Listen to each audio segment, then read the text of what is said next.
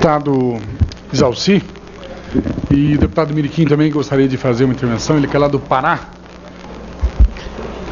Bom dia a todos e a todas. Primeiro, é, parabenizar tanto a frente quanto a comissão por relevantes temas e debates que nós fazemos. Né? Depois, é, também eu considero importante que a gente pudesse descer com esse debate.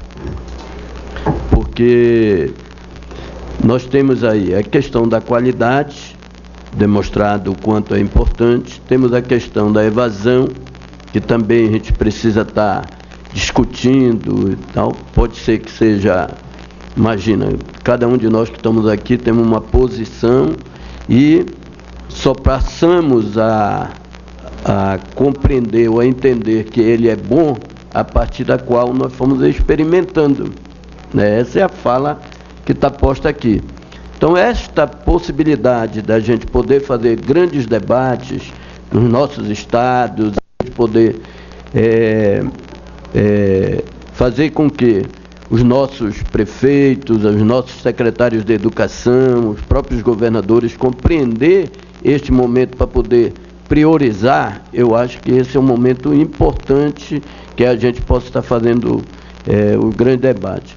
Imagina, é, hoje nós estamos ampliando o número de vagas na universidade, estamos ampliando né, a rede das universidades federais, das universidades públicas, mas a gente percebe o quanto ainda é difícil principalmente se você olhar o Amazônia, o tamanho do Pará, o tamanho do Amazonas, como é que nós vamos chegar nasquelas, nas nossas cidades, nas nossas comunidades, com ensino superior, onde nós temos deficiências de profissionais. Vocês devem pensar aqui. Agora está lá em, no Xingu a questão do Belo Monte, da hidrelétrica de Belo Monte.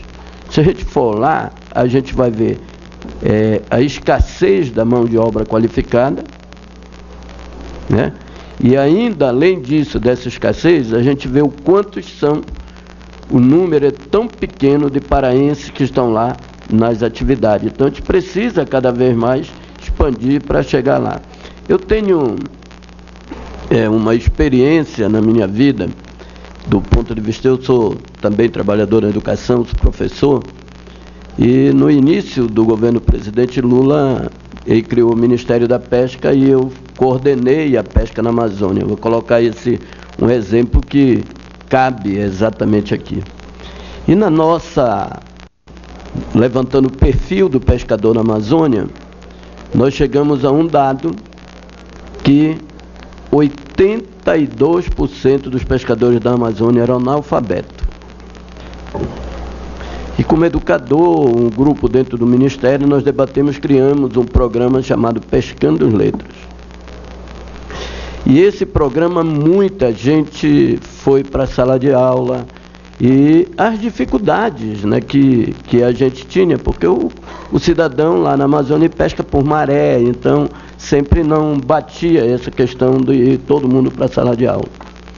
E o presidente Lula mandou uma carta de um cidadão que mandou a carta para ele do que era o programa Pescando Letra, só para colocar essa importância. Então ele começava a dizer assim: Eu sou analfabeto, casei com uma professora, a professora se dedicou, dedicou, dedicou para mim sair da.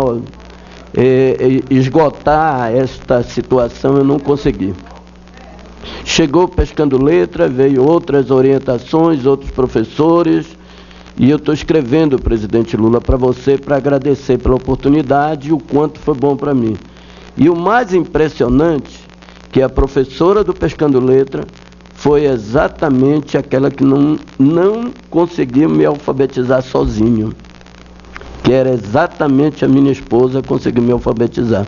Então tem essa carta, que eu acho que é uma carta muito forte para quem trabalha na educação, para a oportunidade que a gente vai tendo na educação, que eu acho que são exemplos. Então, nós precisamos cada vez mais abrir esse debate da educação e mostrar o quanto de evolução a gente tem na educação que precisa chegar em toda, todos os municípios brasileiros para a gente poder avançar.